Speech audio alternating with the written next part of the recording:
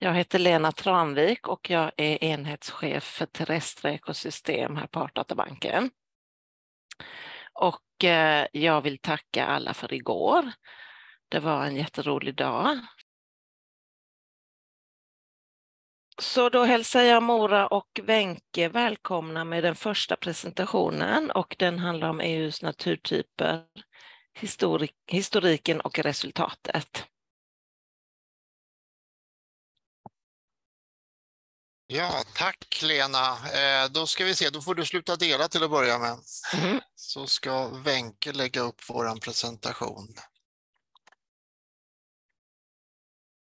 Så, eh, tack så mycket. Ja, eh, det blir en försök till kort liten historik över EUs naturtyper och hur det har utvecklats och orsakerna till att de överhuvudtaget finns. Lite säga, kompletterat till det som Mikael eh, och Brian sa i, eh, igår. Så att vi kan, eh, du kan ta nästa, Wenke. Eh, det hela började som eh, med utgångspunkt från Bernkonventionen under 70-talet. Ehm, eh, Mikael pratade ju rätt mycket om implementeringen av och tillkomsten av fågeldirektivet 79 Eh, och hur man sen skulle ta hand om resten av eh, arterna i Bernkonventionen Eh, det tog som sagt ända fram till 90-talet innan man hade landat då i art och habitatdirektivet. Eh, och Bernkonventionen eh, den var ju, handlade ju bara om arter. Eh, och, men det var, blev snabbt väldigt långa artlistor så därför föddes tanken på att man skulle försöka hitta lite genvägar med att ta också viktiga naturtyper som innehöll många av de här eh, känsliga arterna i Bernkonventionen. Så det var liksom startpunkten för det hela. Eh, och eh, så att man skulle kunna komplettera då att man hade en lista med naturtyper och en lista med, med arter för dem då som var så pass griniga så att de inte liksom hade en typisk naturtypskoppling. Eh, sen så eh, ska vi kunna säga att den europeiska växtsociologin, vegetationssociologin, fick, satte liksom klorna i det här. Och eh, man också satte igång att utveckla Corinne Biotopes, man, någonting som heter Palearctic Habitats som också var en slags, slags checklista för eh, Europa plus, det vill säga Nordafrika och nästan ända bort till eh, eh, Japan och de delarna för att få en, någon, någon slags startpunkt. Och utifrån de listorna och eh, det säga, mellaneuropeiska, sydeuropeiska tänket på naturtyper så skapades då grund Eh, laget till eh, det som idag är annex 1. Och eh, efter mycket debatter och diskussioner och fram och tillbaka inom ja, EUs då, eh, dåtida organ så slutade det med att maj 92 så publicerades en lista på 168 eh, naturtyper som då var säga, grundlaget till annex 1 i direktivet som då kom, kom samtidigt.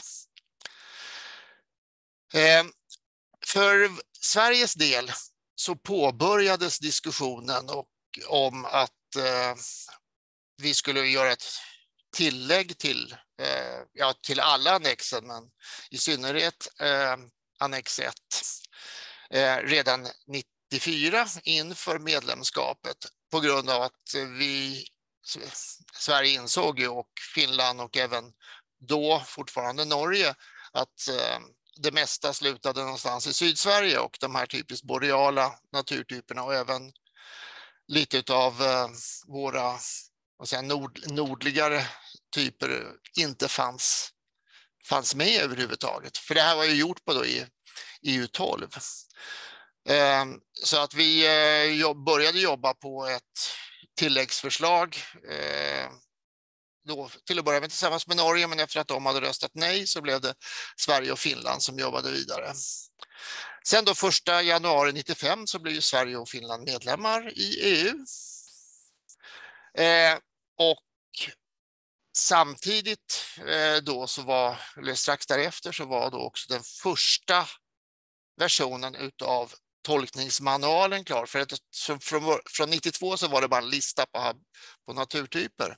Men sen så började man då direkt arbeta med att få fram lite beskrivningar på de här. Började med de prioriterade, några andra och sen så gick man liksom vidare. Ja, du kan byta nu. Eh, sen kom en liten sån här glad överraskning, eller överraskning i varje fall, eh, då i januari 95, att Finland hade fått med tre naturtyper i sina medlemsförhandlingar. Västlig taiga, apamyrar och stora vikar och sund, grunda vikar och sund som de då hette initialt. De har ju bytt lite namn nu för tiden. Eh, och det, de, den, den gruppen som satt med och jobbade med det här svensk-finska förslaget från Finland, de hade ingen aning om det här, för det var, liksom en, det var en helt, helt andra som satt i förhandlingsdelegationen. Och då fanns det också bara tre namn. Det fanns liksom inga underlag för vad som eh, eh ingick i de här. Och Västlig Taiga, det var väl det var inte så, det var inte så knepigt. Och stora grunda vikar och sund. Men apamyra var ju någonting som slutade vid Torneälven traditionellt. Det var någonting som fanns i Finland och inte i Sverige. Så där fick vi liksom från svensk sida börja fundera på hur, hur vi skulle tolka den i Sverige. Eh, sen eh, så började då förhandlingarna med EU om, för att det första vi Sverige och Finland och fick då, nej men det skulle ni ha klarat av i medlemsförhandlingar, inte får ni lägga till några naturtyper eller arter till, direkt, till direktivet. Eh, och det var en rätt så komplicerad process också, för först skulle det komma till ett förslag som skulle då komma till tas i Habitatkommittén, sen skulle det till EU-kommissionen, sen skulle det till ministerrådet och slutligen till EU-parlamentet innan det liksom var klubbat och klart.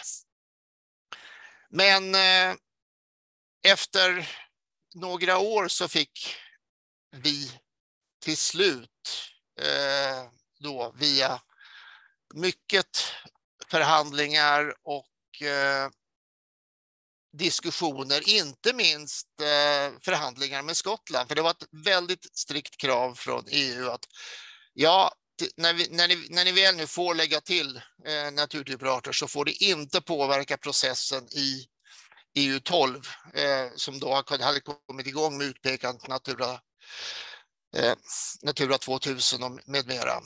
Så att, eh, och Skottland har ju rätt mycket liknande eh, företeelser som Skandinavien så att vi hade flera säga, förhandlingsmöten med skottarna för att se att nej, de här eh, naturtyperna finns inte i Skottland så att det är väl okej. Okay. Och, eh, och därför är det också väldigt mycket som heter boreal och fenoskandisk och så där i titeln just för att undvika det. Men som sagt, 97 så fick vi till slut att lägga till 18 naturtyper. Nästa. Och eh, då var ju processen satt så att det blev ju mycket enklare för eh, de kommande länderna sen, inte minst de tio östländerna som kom med 2004 så var ju, fanns det ju en process. De hade ju, den var ju de nya habitaten som kom då beslutats i stort sett samtidigt med att de blev medlemmar. Eh, och sen har det också eh, så att de uppdateringarna av annex 1 och ja, överhuvudtaget av annexen eh, och även utav tolkningsmanualen, de har ju bara skett i samband med anslutning utav nya medlemsländer. Men det är betydligt enklare att ändra i tolkningsmanualen än att lägga till nya naturtyper, för där är det mycket kortare och eh, simplare beslutsprocess. Där ska det inte upp hela vägen genom alla de tunga EU-instanserna. Och eh, det är ju fortfarande ett pågående tolknings och harmoniseringsarbete. De här Natura 2000-seminarierna, som de nu heter, som är, går runt för de biografiska regionerna, eh, där är liksom varje, varje möte, varje gång så är det liksom uppe det här med just definitioner och hur man tolkar definitionerna. Eh, och vi kan ju bara se på de två kartorna här på liksom ett exempel på definition, eh, lite olika tänk på definitionerna mellan våra näringsfattiga slättsjöar och Evjestrandsjöarna där eh, Finland och Sverige har rätt så olika eh, tankar om vilket som är det ena och vilket som är det andra naturtypen. Och det är som sagt ett, eh, har ju hela tiden också varit ett nationellt, nationell anpassning för att försöka gaffla in naturtyperna i de befintliga eftersom det är ett så pass komplicerad process att få till nya typer och även få till eh, Eh, ändringar i tolkningsmanualen. Eh, men eh, som sagt, vi började med 166 naturtyper. Idag är vi uppe i 232 naturtyper i annex 1. Det har kommit till 67 sedan EU12 och direktivet trädde i kraft. Och vi tappade en naturtyp nu i samband med Brexit. För britterna hade Caledonian, Caledonian Pine Forest som de var ensamma om, så den, den är idag inte längre med i annexet. Tack och med det lämnar jag över ordet till Wenke. Tack Mora. Uh, vi ser här. Där. Och så tänkte jag att jag skulle visa lite hur de här olika, olika naturtyperna fördelar sig tematiskt här. Och i den högra eh, delen av eh, de här staplarna så är det antalet som finns i Sverige. Och så har ni totalen där. Och då ser man att på de marina så har Sverige alla marina som finns listade i direktivet. På våtmarkerna har Sverige 11 av 12. Och så ser man ju då att det varierar lite på de andra grupperna hur, hur många som eh, har kommit med för svensk del.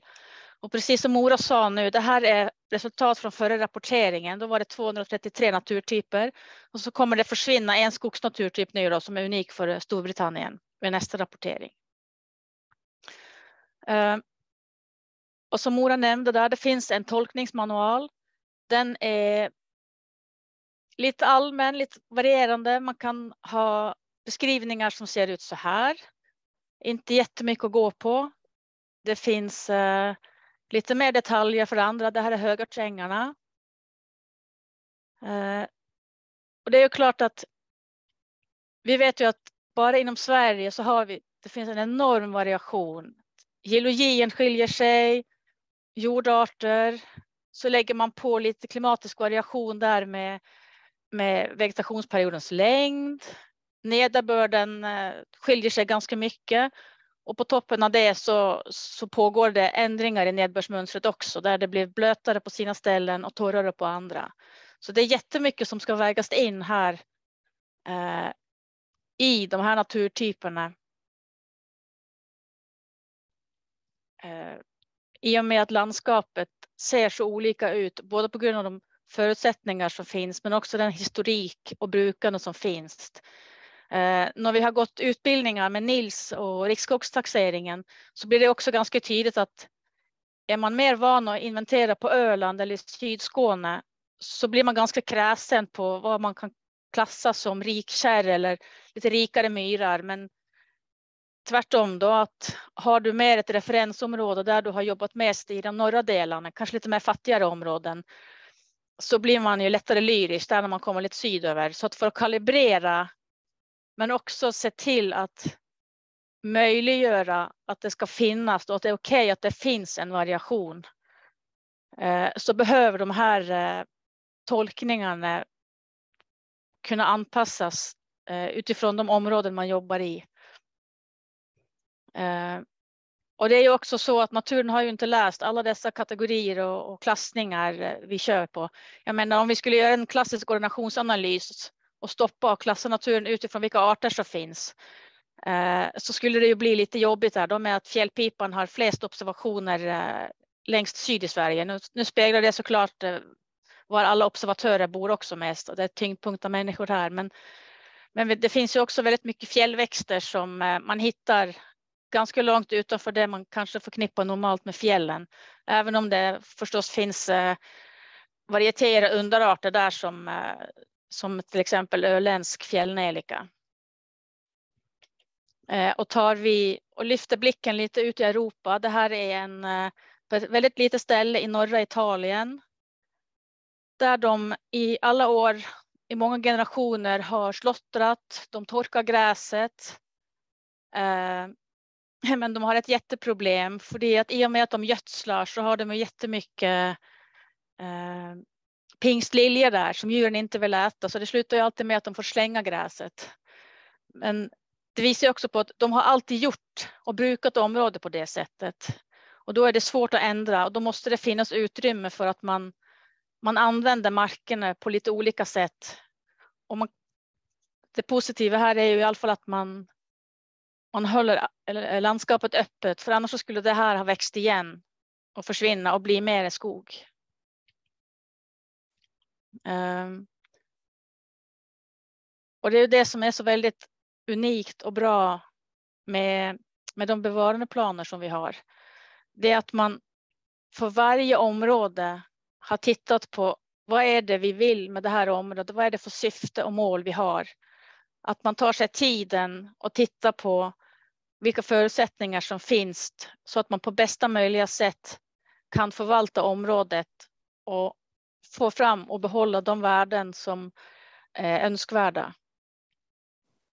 Eh, och nu ska jag bara lyfta en liten annan eh, sak där som jag tycker är viktigt att ni får med er. Det har varit ganska mycket snack om här nu om att Sverige är en av få länder som lyfter att det behövs mer areal, att vi är mycket mer negativa än alla andra. Och nu har jag gjort så här att jag har ändrat alla siffror till operatorer här. För det är ju så här att i, i vägledningarna så finns det väldigt noggrant beskrivet eh, vad de olika operatorerna står för. Så att om man har flaggat för att man behöver mera så vet man att det är någonstans mellan det aktuella värdet och upp till nästan 10 procent. Och säger man att man vill ha mycket mera så är det mer än 10 procent. Så då vet man att man får ett minimumsvärde där. Och då kan man ju tänka så här att om det är så att referensarealen spelar en jättestor roll för bedömningen av areal så kan man ju förvänta sig att de speglar varandra. Att är det väldigt eh, grönt, alltså att man inte behöver någon mer areal, att då bedömningen för areal också ska vara relativt positiv. Eh, och så vill jag också lyfta att just för gräsmarker i kontinental så är det ju faktiskt 12 av 14 länder som lyfter att de behöver mer areal för en eller fler naturtyper. Ser vi på bevarandestatusen för areal så ser vi att bilden är ju kanske inte helt den spegelbild som man kan förvänta sig. Till exempel Bulgarien som säger att vi behöver inga mer arealer. Eh, då ser man att när man då väger in utöver arealbehov också trender så är det en lite mindre positiv bild. Och de, med pilarna här så har jag visat länder där det inte speglas som man kanske kan förvänta sig om man utgår ifrån att referensarealen är det som styr, som är tyngdpunkten. Om man tar ett steg vidare nu och tittar på den samlade bedömningen. Eh, så ser man ju också att det händer saker där också ska vi inte glömma det som Ora nämnde igår, att här har man också vägt in eh, utbredning, kvalitet och framtidsutsikter att få fram det här. Men då ser vi att det blir ännu, ännu um, en annan bild och det går mot en lite mer, vad ska man säga, det står mycket sämre till än man kanske trodde först om man bara tittar på referensareal och behov av mer arealer.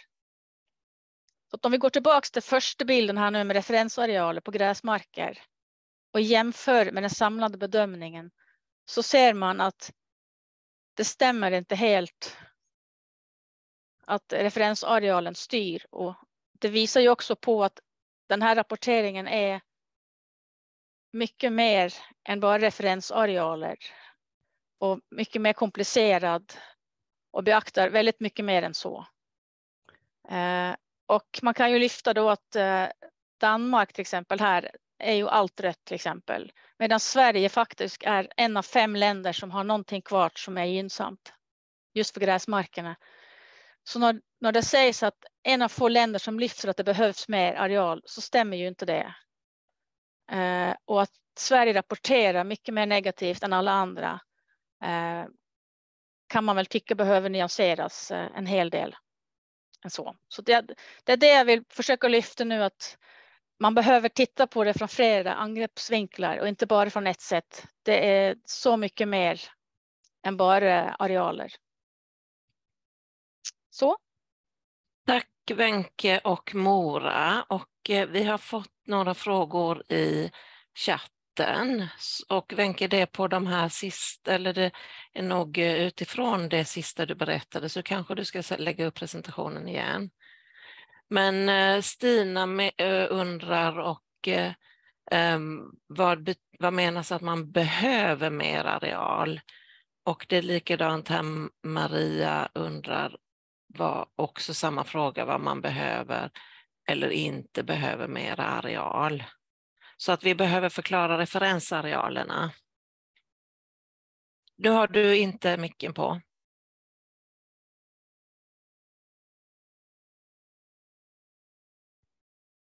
Så. Eh, referensarealer är ett mått på hur mycket man behöver för att det ska vara tillräckligt. Eh, och det var det som vi gick igenom igår där med hur mycket behöver man för att säkra eh, att det här naturtypen fortlever på, på lång sikt, alltså att du får en, en konnektivitet och en kontinuitet där, eller framförallt en konnektivitet så att de arter som finns där kan flytta sig mellan områden och du får ett genetiskt utbyte. Eh, och då är det också så att i direktivet så är det inskrivet att från och med de alla länder blir medlemmar så får ju inte arean minska. Så för de naturtyper som har minskat efter medlemskapet så behöver man eh, få tillbaks de arealen. Men det här är, det här är biologiska och det Angelstam var ju också inne på det där. Det här är ju saker som man har räknat på eh, vetenskapligt, hur mycket man behöver för att de ska klara sig. Eh, och så kommer en fråga här hur dina staplar förklarar att inte Sverige rapporterar för negativt. Med det menar jag att det har varit ett väldigt stort fokus på bara referensarealer och att Sverige är väldigt negativa. Eh, med de här staplarna vill jag visa att det är inte bara Sverige. Du ser de mörk, mörkbruna här. Eller... Nu visar du ingenting. Det var ju konstigt. Ska vi se. Nu då? Ja, där. Jo, eh, de lite mörkare här. Det är ju antal naturtyper just för gräsmarker i kontinental där länderna har flaggat för att de behöver mer areal. Och nu ser vi Sverige som är näst längst till höger här. Så ser man ju att det är ganska många andra också som lyfter att de behöver mer eller mycket mer areal. Så det var det som var min poäng att det är, det är inte bara Sverige som flaggar för att det behövs större areal. Mm. Sen kommer det en fråga här från Peter Roberts, eh, hur vi ser på kritiken att man för skog använder sig av 20 procent av förindustriell areal som referensareal. Det, det, där gick ju Per Angelstam ganska noggrant igenom igår, tänker jag. Eh, så det kanske man kan prata lite mer om i den parallella sessionen på skog idag. Mm. Men det, det baserar sig på vetenskapligt underlag på vad arterna behöver för att fortleva över lång tid, vilka arealer de behöver för att röra sig på, på genetiskt utbyte. Så det, det är inget hokus pokus.